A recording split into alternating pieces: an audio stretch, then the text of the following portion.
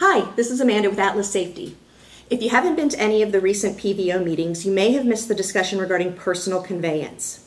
If you are off duty, either taking a break or trying to complete a reset, and you are requested to move by a DOT officer, or you just need to move the truck around the lot a little bit, it is important that you put yourself into personal conveyance. Once that drive time is entered into your log, it cannot be edited by us here in safety or by you. So keep that in mind when you need to make a move. Thanks for watching.